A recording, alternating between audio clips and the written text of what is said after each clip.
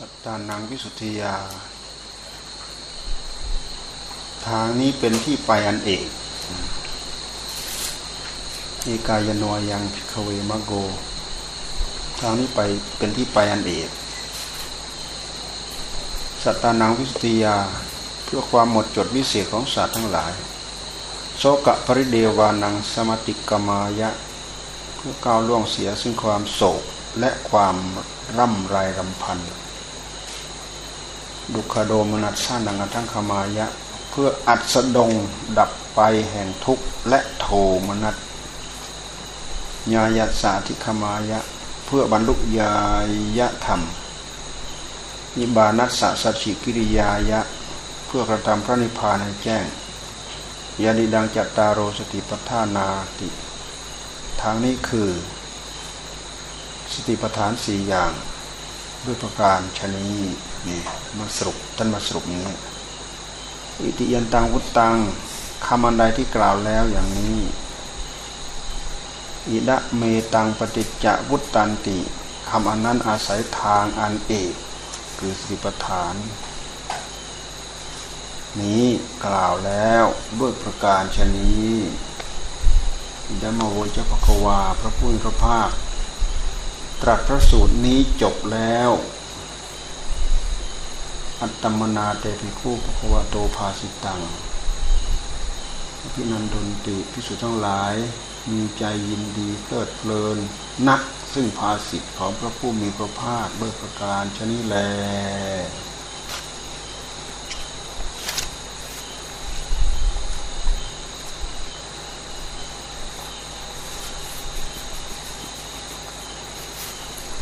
ไปทำความเข้าใจไป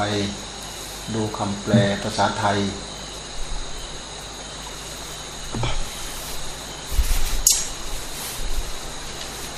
วันนั้นมีอาจารย์อยู่อาชีวศึกษาก็เอามาให้ เขาเอาไปทำเป็นฉบับภาษาไทย แล้วไม่รู้ใครทำให้ แล้วก็ไม่ไม่รู้ใครตรวจให้ คิดว่าต้องผิดเยอะ เราก็บอกโอ้ยผิดความประสงค์ของเรา เราประสงค์ให้เป็นภาษาบาลี เราต้องการให้เป็นไปตามต้นฉบับนี่แหละ เขาก็เลยขอต้นฉบับไปเล่มหนึ่ง เป็นชุดที่ที่ห้าที่เราพิมพ์ครั้งที่ห้านี่แหละมหาจิปทานนี่แหละ ไม่รู้ใครทำต้นฉบับให้ไม่รู้แหละ แล้วก็ไปไปให้นักเรียน ให้นักเรียนสองสามคนต่อเล่มหนึ่ง หรือบางทีก็สองสามคนต่อสองสามเล่ม หรือบางบางทีเล่มหนึ่งสองสามคน หรือบางทีก็คนหนึ่งสองสามเล่มเนี่ยเขาพิมพ์มาแล้วมีชื่อติดอยู่ในนี้ร้อยเก้าเล่ม วันนั้นเพิ่นเอามาร้อยเก้าเล่ม อาจารย์สุริพร พานักพานักเรียน อาชีวะ ปวสเอามาให้ เขาบอกว่ามีอาจารย์ท่านหนึ่งมาที่นี่แหละ เห็นว่าที่นี่อ่านอย่างนี้ลำบาก มีใครบ้างสั่งให้เขาทำมีใครไหม เขาก็เลยเอาไปทำเป็นภาษาภาษาไทย เอาไปทำเป็นภาษาไทยมา เราต้องการให้เป็นอย่างนี้ตั้งแต่ทีแรก เราไม่เราไม่แปลงเป็นภาษาไทย มันก็ไม่เห็นอ่านยากอะไร อันนี้เป็นฉบับดั้งเดิม เป็นตำรับดั้งเดิม เป็นฉบับภาษาบาลีไม่ใช่ไม่ใช่ฉบับภาษาไทย เราต้องการให้เป็นอย่างนี้ เราก็บอกว่า โอ้ ผิดความประสงค์ของเราแล้ว เราประสงค์ให้เป็นอย่างนี้ เนี่ย เราประสงค์ให้เป็นเหมือนหนังสือเล่มนี้ นี่เราว่ามีใครไปให้เขาทำเปล่าฮะมีใครไปให้เขาทำเปล่า แล้วก็ไม่มีใครได้ช่วยตรวจช่วยเช็คดู ไม่รู้เขาเขาไปเอามาจากไหนไม่รู้ เอารูปหลวงตามาใส่หน้าปก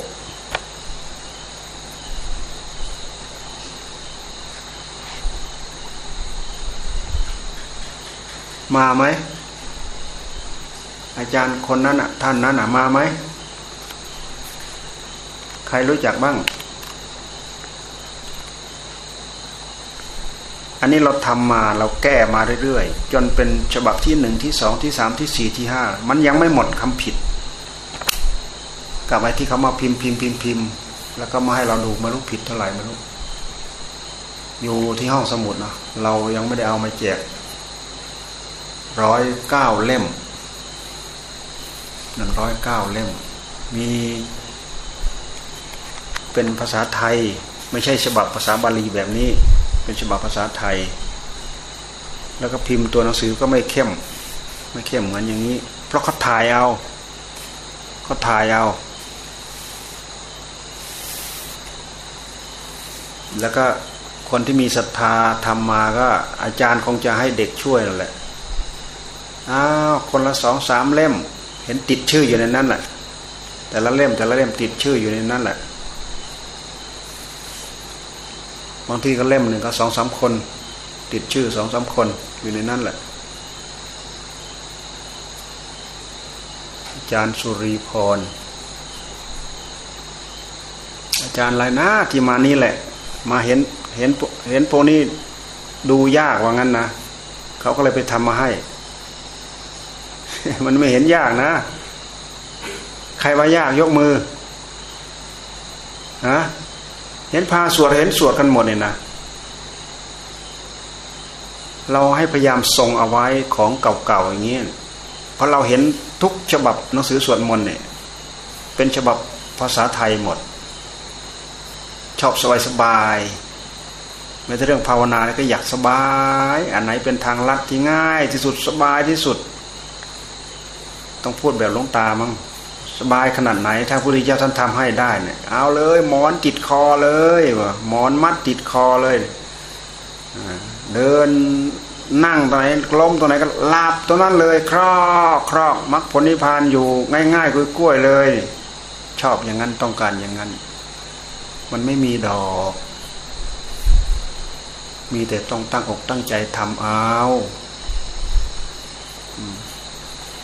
เราไปฟังหลวงอาจารย์หลวงปู่ยันเรียนท่านเล่าให้ฟังเรื่องผล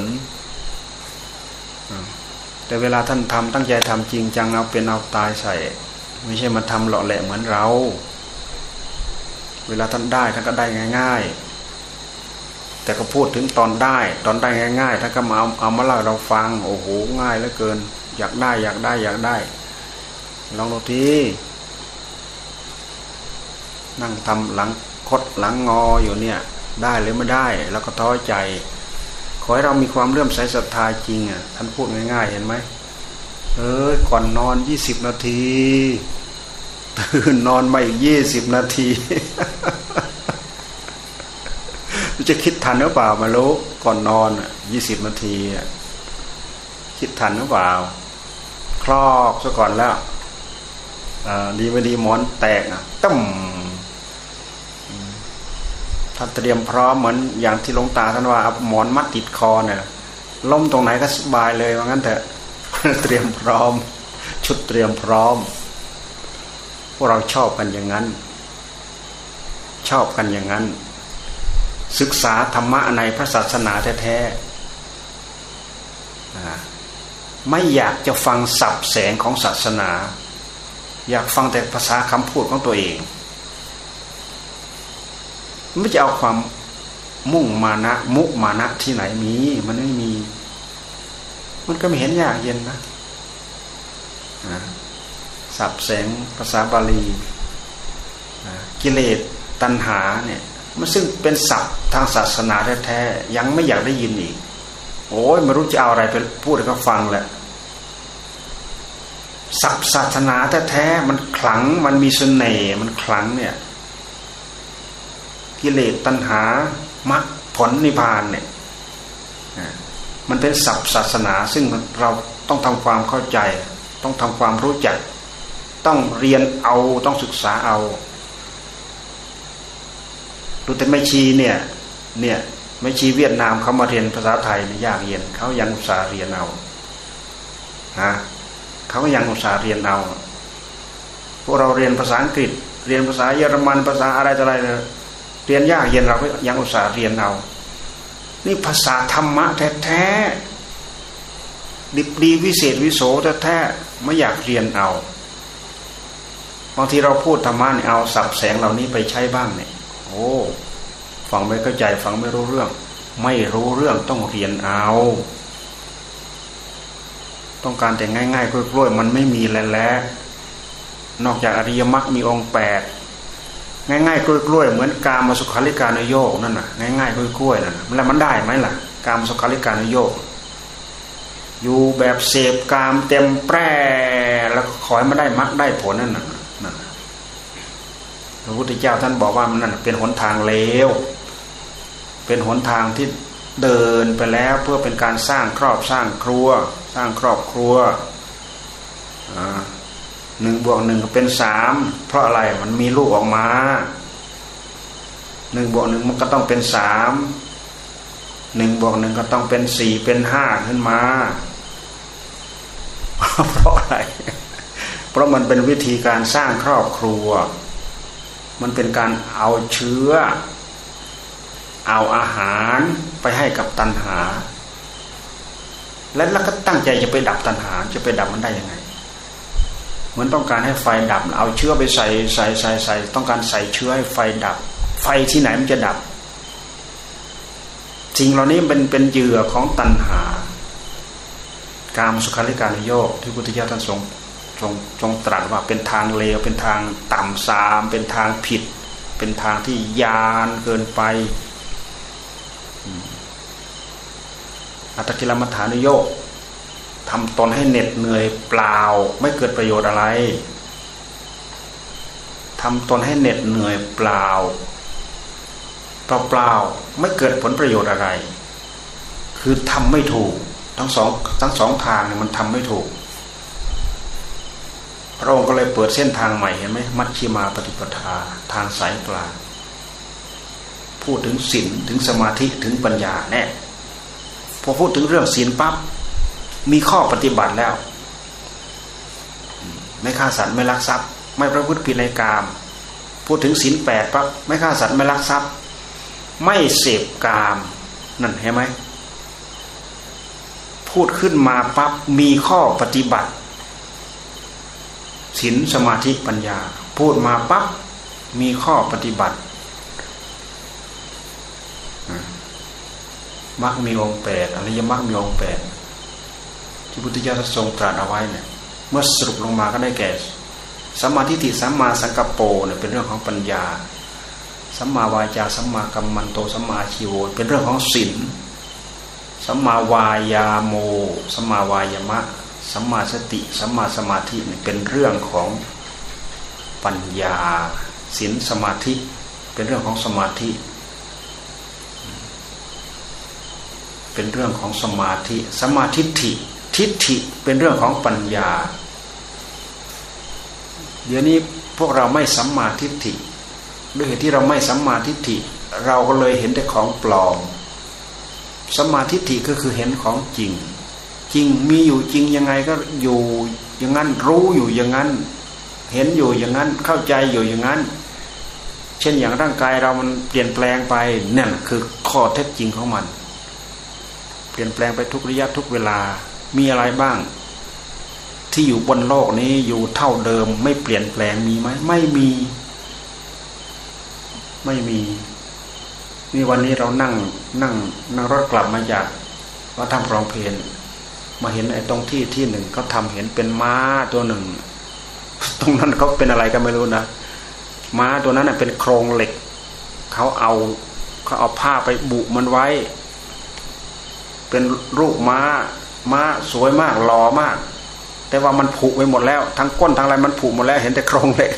เห็นแต่ขนาดโอ้ยว่าจะให้เกียรติจอดถ่ายถ่ายรูปเอาไว้เนี่ยมันจะได้บอกว่านี่อันนี้จังเห็นคักๆเนี่ยเห็นชัดๆ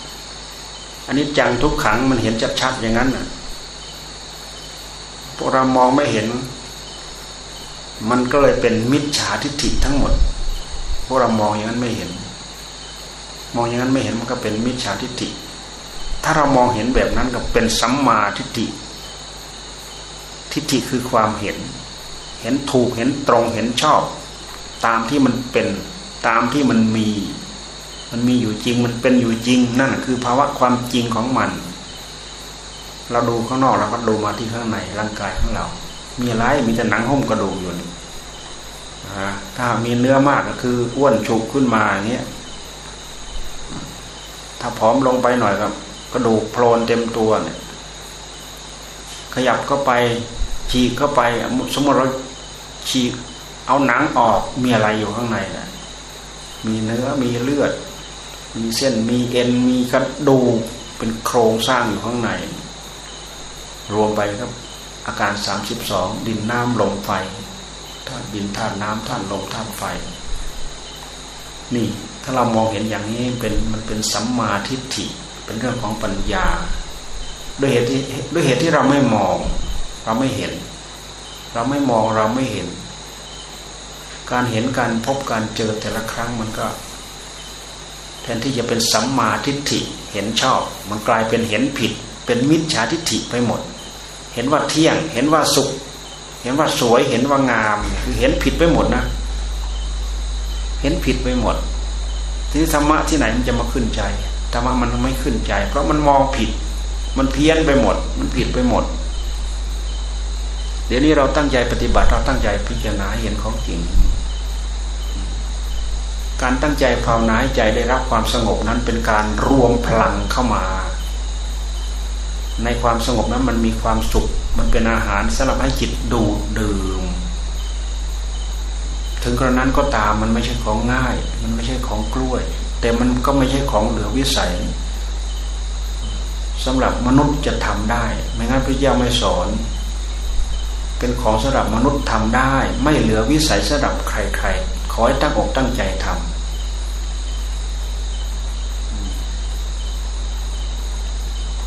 ตั้งใจรักษาศีลเจริญสมาธิเจริญปัญญา ตั้งใจรักษาศีลปั๊บมีข้อปฏิบัติ ต้องงดต้องเว้นแหละต้องการถือศีลห้าเคร่งครัดงดเว้นไม่ฆ่าสัตว์ไม่ลักทรัพย์เราก็มัวแต่มาขัดแย้งอีกโอ้ไม่ให้ฆ่าสัตว์ ไม่ให้จับอื่นจับกบจับเขียดได้อะไรกินน่ไม่ใส่เบ็ดจับปลาดักปลา ดักมอง ดักรอบ ดักใส่ได้อะไรกินไอ้ทั้งจะอยากกินสบายสบายไอ้ทั้งจะอยากจะได้อัดได้ทำมันไม่ได้มันไม่ได้ มันเหมือนกับเอาเชื้อไปเสริมไฟจะให้ไฟมันดับมันดับไม่ได้ สิ่งนั้นมันเป็นเหยื่อของตันหา เสริมเข้าไปเท่าไหร่มันเป็นเหยื่อของตันหา แต่ว่าเราตั้งใจภาวนา เราตั้งใจภาวนาเพื่อต้องการดับดับตัณหา มันไม่ใช่ทางมันจะไปดับได้ยังไงมันไม่ใช่ทางมันดับไม่ได้ สมาธิตล่อมเข้ามา ให้จิตมีพลังให้จิตมีกำลัง หนุนปัญญา จิตอิ่มเอิบนี่แหละ เอาไปพิจารณาเกิดปัญญา คำว่าพิจารณาเกิดปัญญาก็พิจารณาให้เห็นเห็นตามที่มันเป็นอยู่จริงมีอยู่จริง คือเป็นเป็นสัมมาทิฏฐินะเป็นสัมมาทิฏฐิสัมมาทิฏฐิท่านพูดถึงสัมมาทิฏฐิดำริในความไม่พยาบาทดำริในการออกจากกามดำริในการไม่เบียดเบียนดำริในการไม่เบียดเบียน ก็คือเรื่องของศีล ดำริในการออกจากกาม มันเป็นเรื่องของสมาธิดำริในการไม่พยาบาทเป็นเรื่องของปัญญาเห็นไหมศีลสมาธิปัญญา รวมลงในข้อแรกเลยสัมมาทิฏฐิสัมมาทิฏฐิ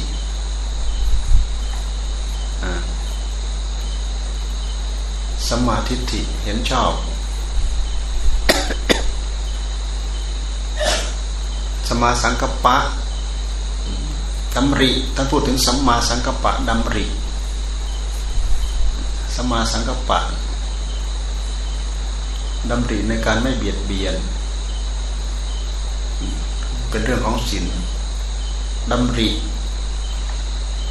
ในการออกจากกามเป็นเรื่องของสมาธิดำริออกจากกามเป็นเรื่องของสมาธิ พิจารณาเห็นชัดเจนแจ่มแจ้ง กามทั้งหลายทั้งปวงไม่กำเริบในหัวใจ เป็นเรื่องของสมาธิเป็นเรื่องของปัญญา สมาธิอย่างเดียวก็เป็นเหตุให้ออกจากกาม เป็นเหตุให้กามไม่กำเริบ ต้องพิจารณาเกิดปัญญา เห็นเหตุเห็นปัจจัย เอาเหตุเอาปัจจัยออกตกลงปลงใจรู้เห็นเป็นเป็นใจตามนั้น จิตยอมรับ โอ้ เห็นข้อชัดเจน เห็นชัดเจน ตามที่สติปัญญาเราพิจารณาได้เห็นได้ ใจยอมรับเต็มที่ เพราะเห็นของจริง เห็นไตรลักษณ์นี่แหละไตรลักษณ์มันอยู่รอบข้างตัวเราเต็มไปหมด ทั้งรูปทั้งเสียงทั้งกลิ่นทั้งรสทั้งสัมผัสมีไตรลักษณ์เป็นลักษณะที่ท่านให้เราดูให้เกิดความรู้เกิดความเห็น เราจะไม่ได้ตายใจกับมัน เราจะไม่ได้ติดใจ ไม่ตายใจไม่ติดใจ ไม่ผูกพันใจ จนเป็นเหตุให้เกิดความเบื่อ เกิดความนาย คลายจางเราถอน ถอนความยึดติด เห็นความจริงของมันมันก็ถอนของมัน ถ้าหากยังไม่เห็นก็เหมือนอย่างเราไม่มีความรู้นั่นแหละ เราไม่รู้ว่าอะไรขังอยู่ในนี้เนี่ยงมอยู่ในนี้แหละเปิดปั๊บเห็นอ๋ออันนี้เอง หมดสงสัยไอ้ตอนที่ยังไม่เห็นมันมันมันก็สงสัยอยู่นั่นแหละพอเราหงายขึ้นมาปั๊บโอ้อันนี้เอง หมดสงสัยท่านจึงให้ดูครูบาอาจารย์ท่านกล่าวผลมาเราเราฟัง ดูเหมือนง่ายๆกล้วยไม่กล้วยไม่ง่ายเหลือเด่นตายทั้งนั้น เหลือเด่นตายทั้งนั้นอะเอามาเล่าให้เราฟัง ดูเดี๋ยวคนทำทำอะไรมีสัจจะหมดนะนะคนตั้งสัจจะหมดนะไม่ไปผาแดงเพราะก็มีสัจจะเพิ่นว่าตั้งสัจจะโอ้โหเด็ดขนาด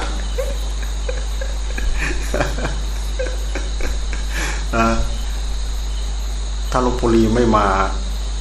วัดเราเนี่ย เราจะไม่ไป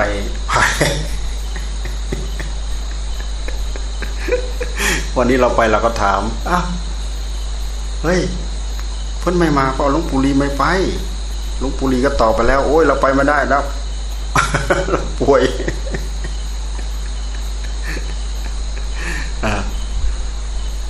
แต่ลุง ปู่ยันเรียนไม่ป่วยอะไม่ป่วย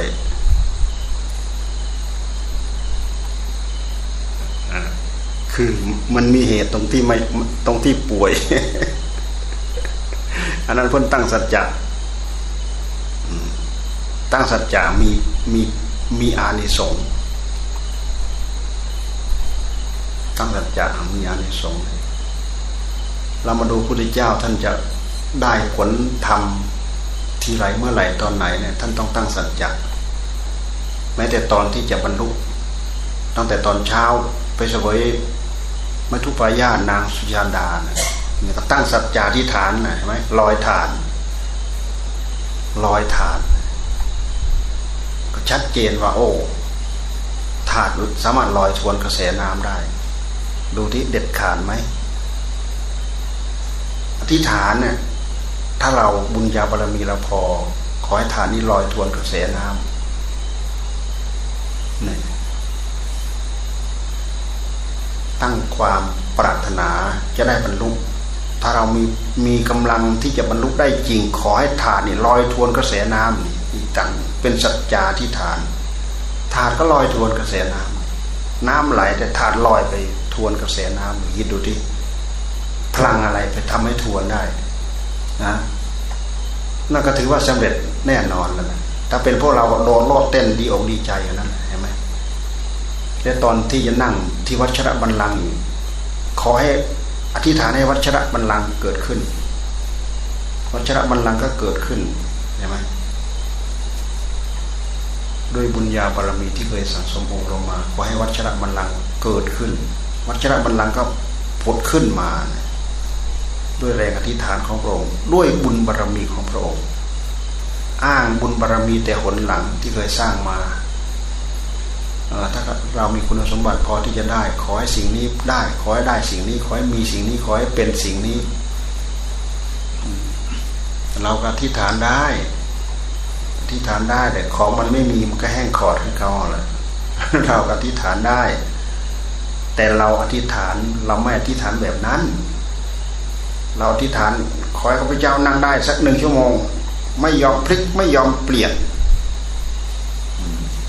ถ้าลุกก่อนชั่วโมงหนึ่งขอให้ข้าพเจ้าใจขาดตาย ลองดิลองดิด้วยเหตุที่เราตั้งสัจจะเนี่ยกำลังใจมันก็เพิ่มไปเป็นครึ่งหนึ่งแล้วแหละมีกำลังใจมีเรี่ยวมีแรง จิตใจก็จดจ่อไม่กล้าขยับไปโน้นไปนี้ ตั้งสัจจะ ก็มันอย่างทุนดงเหมือนอย่างศีลของเราเนี่ยมันก็อยู่ด้วยสัจจะเหมือนอย่างทุนรงที่เราถืออยู่ด้วยสัจจะถ้าเราขาดสัจจะทุดงเราก็ขาดแล้วเราไม่มีสัจจะทุดงเราก็ขาดแล้ว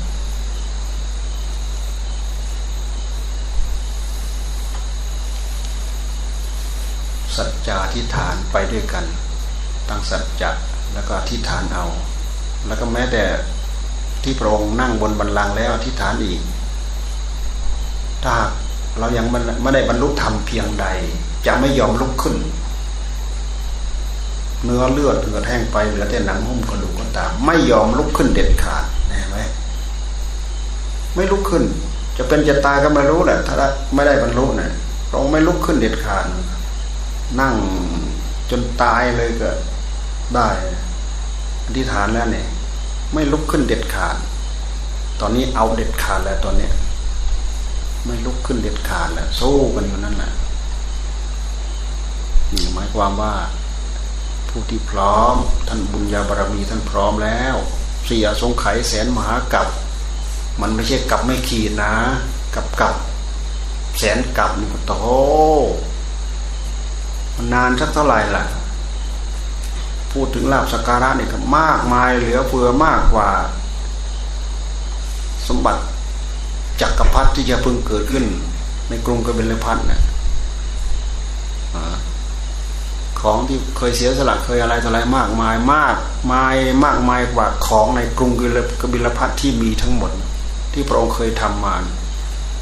วัตถุทยทานอะไรทั้งหลายทั้งปวง เคยช่วยเหลือคนเคยอะไรต่ออะไรมากมายมหาศาล คนที่มาปรากฏเนี่ยถึงสิบเปอร์เซ็นต์หรือเปล่าก็ไม่รู้ ของที่พระองค์เคยสร้างสมบรมมาไม่เท่า เสียสละถึงขนาดนั้น กว่าผลเหล่านี้มันจะมาเกิดขึ้นง่ายๆ เราดูก็เหมือนง่าย ดูแต่ท่านทุกยากมาเท่าไหร่ ทุกยากมากี่กับดูดูที่ทุกยากลำบากตากตามทรมานมานะเป็นหนึ่งจิตเป็นหนึ่งไม่มีเปลี่ยน ไม่เปลี่ยน นี่ก็คือสัจจะตั้งแล้วไม่เปลี่ยนในที่สุดต้องได้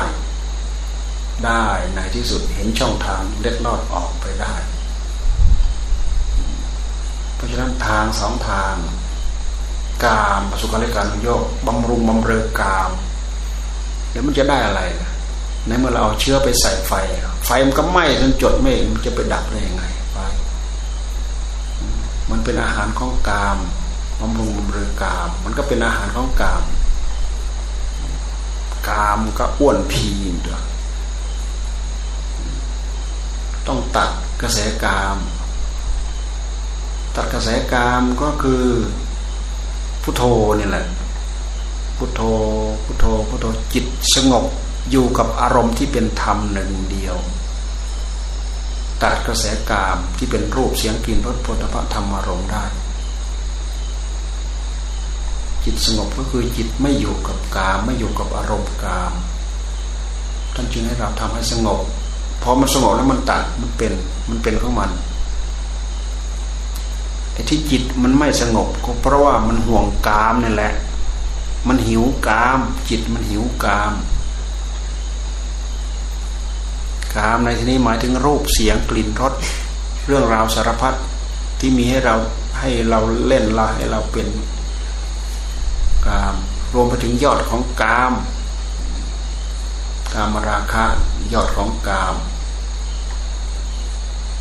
สิ่งเหล่านี้พระพุทธเจ้าท่านทรงตรัสว่าเป็นไฟเป็นไฟเป็นไฟเป็นไฟศีลห้าก็ถือว่าบริโภคไฟ แต่ถือว่าเป็นไฟจำกัด สามีจำกัดให้กับภรรยาภรรยาจำกัดให้กับสามี แต่ถ้านอกใจปั๊บหมายว่าเอาไฟออกนอกเตาไม่ลุกลามใหญ่โตเลยทีนี้ไม่หัวใจทั้งสองข้างเลยแหละไม่ลูกไม่เต้าครอบครัวไม่ชิบหายวายพวงเดือดร้อนวุ่นวายไปหมดนี่คือไฟ แค่นี้ รักษาศีลห้าสามีภรรยาอยู่ด้วยกัน เป็นคู่ครองเดียวกันต่างคนต่างไม่นอกใจกัน มีศีลห้าครบสมบูรณ์บริบูรณ์ ได้มรรคได้ผลตั้งใจปฏิบัติได้มรรคได้ผล ถึงคราวสงบ ก็อยู่คนละมุมก็ภาวนาใจได้รับความสงบ เมื่อใจเริ่มสงบ ความรู้ความเห็นก็เริ่มเป็นไป เพราะว่าอารมณ์ของกามมันดับ ใจสงบคืออารมณ์ของกามมันดับ จิตมันไม่ไปสิมันไม่ไปก่อควรจิต จิตก็สงบระงับ แทนที่จะเอาเรื่องของกามไปไปส่งเสริมให้จิตคึกขนองกันดอนรอบเต้นไปตามเรื่องของกาม ก็ไม่นึกไม่คิด จิตสงบ ไม่ว้าวุ่นคุณมัวกับเรื่องรูปเรื่องเสียง สนใจแต่เรื่องอารมณ์ที่เป็นธรรมทำแต่เรื่องสิ่งเหล่านี้ทำกรรมวิบากทำกรรมวิบาก ผลรายได้เป็นเรื่องของธรรมแต่ถ้าเราปล่อยเราไม่ทำเราไม่ภาวนาไม่ทำให้ใจสงบ กิเลสกรรมวิบาก กิเลสกรรมวิบาก ผลรายได้เป็นเรื่องของกิเลสวันคืนล่วงไปเรามาพิจารณาดูแค่นี้เราก็พอจะรู้ เราอยู่เพิ่มพูน เราอยู่เพิ่มพูนกาม หรือเราอยู่บันทอนกาม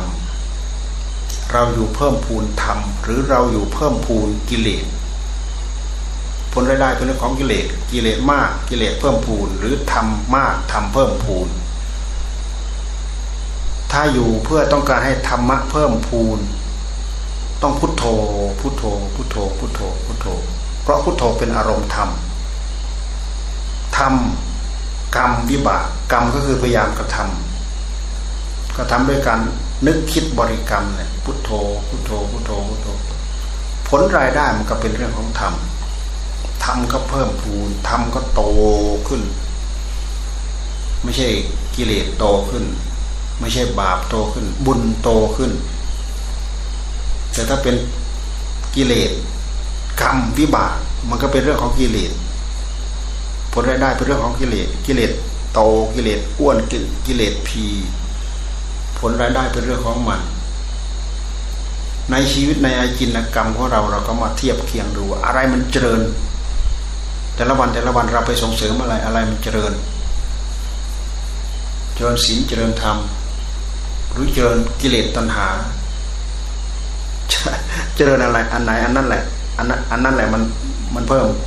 มันมีผลเพิ่ม เจริญอันไหนอันนั้นแหละมันมีผลเพิ่ม เราได้ข้อคิดแค่นี้ เราก็สำนึกได้ระลึกได้ มาถึงตัวเราเราควรจะเอาอะไร เราจะได้อะไร เราจะไม่อิ่มไม่พอเกี่ยวกับเรื่องกาม แล้วจะได้อะไร มันก็ไม่ได้อะไรแหละ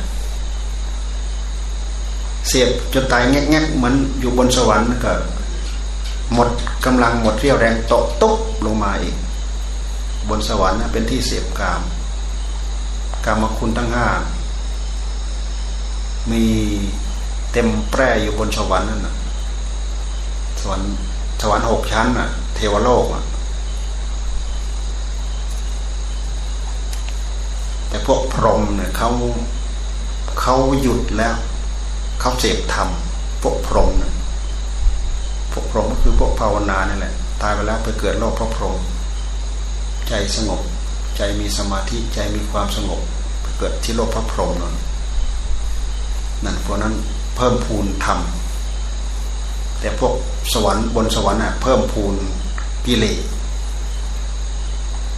ไปซ่องไปเสียบเท่าไหร่ให้มันพอไม่มีไม่มีอีกพอ เสียบจนตายแงกแงกแงกแงกมันก็ไม่อีกไม่พอ พอหมดอายุไขตกตุ๊บลงมาละ ต่ำไปถึงไหนก็ไม่รู้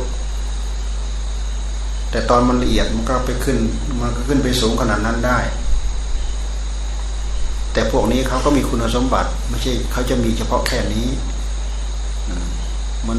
บางคนเขาก็ไปไปเกิดบนชักกามาไปจรเขาเรียกว่าชักกามาไปจรสวรรค์หกชั้น คือเป็นที่บริโภคกามเป็นที่เสพกาม ก็จริงอยู่แต่พื้นเพในจิตใจของเขามันมี ไม่งั้นเขาก็ไม่ไปได้ ไม่งั้นก็ไม่ได้ ไม่ได้ไปเกิดบนสวรรค์ถ้าจิตใจเลวทรามมันก็ไปเกิดไม่ได้ เขาอยู่บนสวรรค์ชั้นเสวยกามบริโภคกามก็จริงอยู่ แต่มันเป็นวิบากกรรมที่เขาพึงไปได้ เขาอาจจะไม่ยินดีไม่พอใจก็ได้ แต่ด้วยผลอานิสงส์ที่ที่มันมีอยู่อย่างนั้นก็จำเป็นต้องไปได้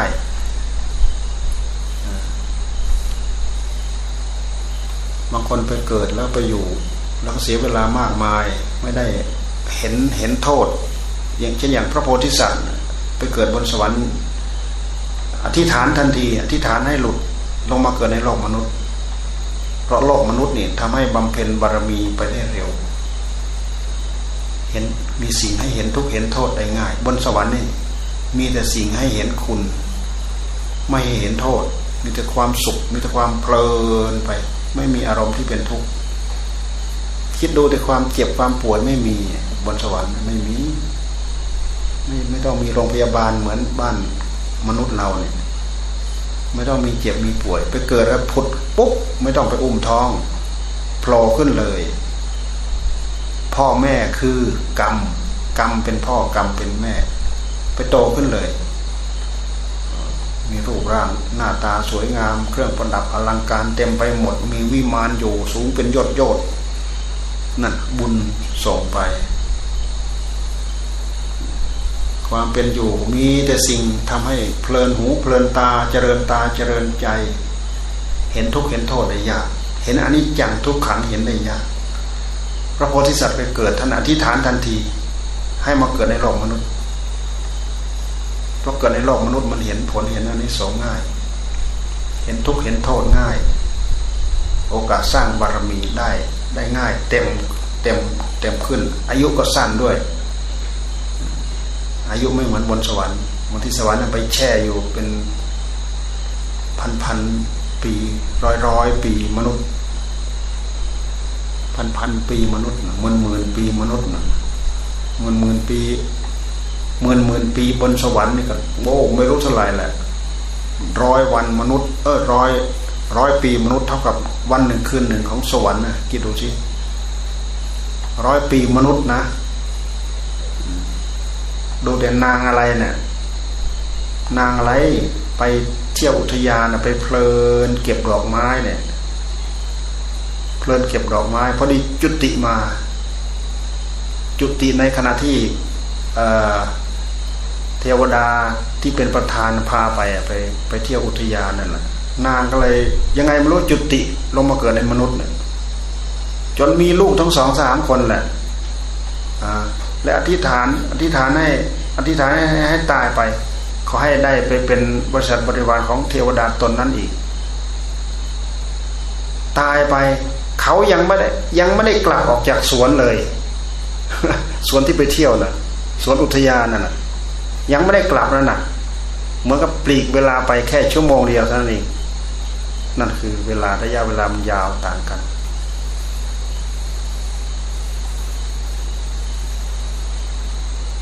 คุณของศีลของสมาธิของปัญญานี่แหละ ที่ทำให้เราเพิ่มคุณสมบัติให้กับตัวเรา อย่างอื่นไม่รู้จะมองเห็นอะไร คุณงามความดีที่เกิดขึ้นได้ง่าย แล้วก็จับหลักอย่าทิ้ง ตั้งใจรักษาศีลมีสัตว์มีซื่อมีอุตสาหพยายามมีขยันหมั่นเพียรตั้งใจรักษาศีลตั้งใจภาวนาให้ใจได้รับความสงบถือว่าเป็นการตัดกระแสพยายามตัดกระแสของกาม เอาแค่ว่าจิตสงบ มันก็สงบระงับกามได้ พิจารณาเกิดปัญญาเพื่อตัดกระแสมันให้มันขาด